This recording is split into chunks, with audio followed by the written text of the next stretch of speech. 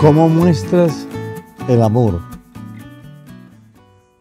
¿Cómo muestras el detalle de cariño, de bondad, de, gratitud, de afecto? Y digámoslo a la persona más amorosa. Eres casado, tu esposa. Eres casada, tu esposo. Eres papá, eres mamá a tus hijitos. ¿Cómo muestras tu amor? ¿Cómo expresas tu amor? Y perdóname que yo te diga una cosa tal vez más, más, más de entender y es, ¿cómo pasas el amor? Todo el mundo dice, yo amo, yo te amo. A los hijos le dicen, te amamos. Hijo, yo te amo. Pero golpes y, peleas y insultos y de todo. Y después dice, hijo, yo te amo. Hija, yo te amo. Y no, no pasas el amor, das cosas horrorosas, haz todo lo que sea sufrir. Y después dice que tú amas. ¿Cómo pasas el amor? Mira, esta idea, ¿cómo pasarla? Mira, la encontré en la primera carta de San Juan, en el capítulo 4. Y leemos en el verso 9. Dios mostró su amor por nosotros. Oye, ¿cómo? Oye, ¿cómo? Por nosotros no, quitemos el plural, por ti, quitemos el, el allá, el, el ti, tú, yo, cómo me mostró a mí el amor Dios, cómo me pasó el amor. Leamos. Mostró Dios su amor al enviar a su Hijo único al mundo para que tengamos vida por medio de Él. Lo que más pudo haber amado Dios, su propio Hijo. Y era tanto el amor por nosotros, hijos adoptivos, que mandó a su hijo. Mandó lo más querido, mandó lo que más amaba, mandó el regalo más grande. Imagínate que tú tienes tal vez un anillo, un diamante, una pulsera de oro, no sé, tienes algo de gran valor. Regalas a la persona que tú más ama eso. O mandas, este, este más costoso, lo voy a guardar otro poquito le mandas otro bonito, pero no tan valioso. Entonces, ¿cómo pretendes tú decir que tú muestras el amor? ¿Cómo lo demuestras? Es que aquí es interesante. Y ámense unos a otros. Y si se aman unos a otros y aman hasta los enemigos, el mundo va a saber que ustedes son míos, mis discípulos. ¿Cómo tú pasas el amor de Dios Dios mostró su amor enviando a su Hijo al mundo. ¿Cómo demuestras tu amor a la persona que más amas? O a la que más amas es la que más hace sufrir.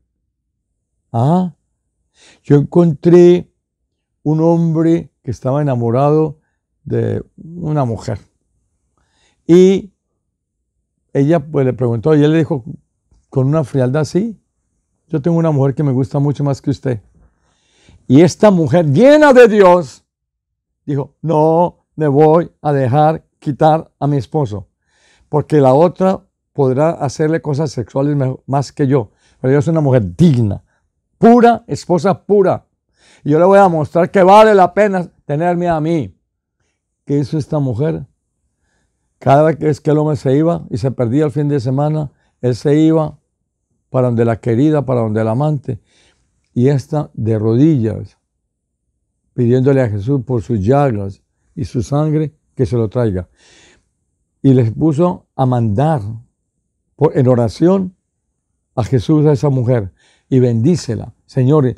Y si crees que vale la pena, bendícela más que a mí. Mira cómo mandaba el amor. Mira cómo mandaba. En vez de estar hablando contra la querida, contra el amante de su esposo, lo que hacía era que le hablaba a Jesús y le mandaba a Jesús mismo que lo cuidara su esposo y que bendijera también el amante. Y me dijo, porque padre, así como ella lo está haciendo, soy yo la persona que lo podría estar haciendo. Yo podría ser la equivocada. Entonces, ¿qué tengo que hacer? Mandar lo que yo más amo. Mandar a Jesús a mi esposo y mandar a Jesús a esa mujer. Orando y orando es para donde el amante y ella donde Jesús al Santísimo. Cuando cerraban la iglesia se venía y en su casa con rosario. mientras el otro estaba con la esposa. No sé cuánto, perdón, mientras el otro estaba con la amante. Me entendí, me equivoqué, me entendiste. Y hermano, conclusión. Conclusión. Ella mandaba lo más querido para ella, Jesús. Y lo mandaba a él, a Jesús, a él, y mandaba a Jesús a ella, al amante. Pues se separaron. Porque hay poder. Hay poder. Yo me pongo, me pongo, todo el cuerpo se me da como um, brívido, se dice en, eh, se dice en italiano, me da como, eh, no sé, una emoción poder contarle, hermano, a usted que si usted manda lo más lindo de su vida a otra persona y lo más lindo de su vida es Jesús, hay poder en Jesús. Se acordará de mí cómo van a traer de nuevo a toda la familia, porque o, o usted, si, si no se arregla el problema, no se acaba el problema, ha sido porque usted dejó de orar. O se arregla el problema o usted deja de orar y no se arregla el problema. Escoja. Escoja, hermano. Hay poder. Ay, me da una emoción hablarles de esto, recordando ese caso de esa pobre mujer. Cómo oraba y oraba y oraba y no me lo dejó quitar y no me lo dejó quitar. Y le envío a lo más querido para mí, que es Jesús, a mi esposo, cuando esté con ella. Y le mando a Jesús a ella porque ella también es digna de salvarse. Pero mire el pensamiento de una mujer santa enamorada de Jesús. Envió a su hijo a salvar al mundo, el Padre, a salvarte a ti. Y tú envías a tu hijo para salvar a otro. Padre, por las llagas y por la sangre de Jesús, tu Hijo muy amado, te pedimos que nos bendigas con la bendición que tú sabes necesitamos. María, Madre de Dios, ruega por nosotros. Hermano mío, que Dios te bendiga y como decía esta mujer, más que a mí. En el nombre del Padre y del Hijo y del Espíritu Santo. Amén. Bendiciones.